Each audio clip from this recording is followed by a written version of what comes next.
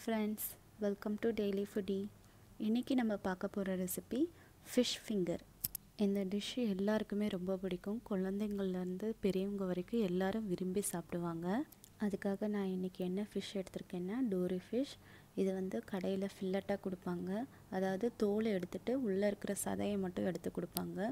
இதில் முள்ளே இருக்காதுங்க. ரொம்ப டேஸ்ட்டாக இருக்கும். இந்த மாதிரி முள் இல்லாத மீனாக இருந்தால் தான் ஃபிஷ் ஃபிங்கர் பண்ணுறதுக்கு ரொம்ப நல்லாயிருக்கும் ஓகே இப்போ வாங்க நம்ம எப்படி செய்யலான்றதை பார்க்கலாம். இப்போது டேரெக்டாக இந்த ஃபிஷ்ஷோட ஒரு ரெண்டு டேபிள் ஸ்பூன் மைதா மாவு போட்டுக்கலாம். ரெட் சில்லி பவுடர் நான் ஒன்றரை ஸ்பூன் எடுத்திருக்கேன். நீங்கள் காரம் பார்த்து எப்படி வேணுமோ போட்டுக்கோங்க. ஆஃப் டீஸ்பூன் மஞ்சத்தூள் போட்டுக்கலாம். உப்பு தேவையான அளவு.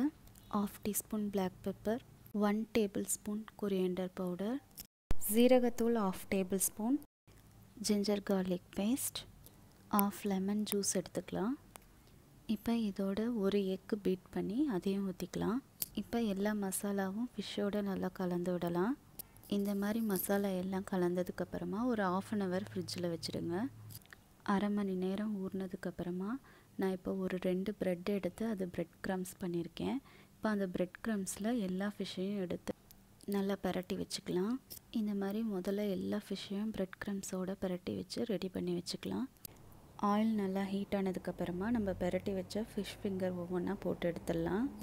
ரெண்டு பக்கமும் நல்லா கோல்டன் ப்ரௌன் ஆற வரைக்கும் ஃப்ரை பண்ணிவிடுங்க இந்த மாதிரி நல்லா பொரிஞ்சதுக்கப்புறமா எடுத்து நம்ம பிளேட்டிங் பண்ணிடலாம்.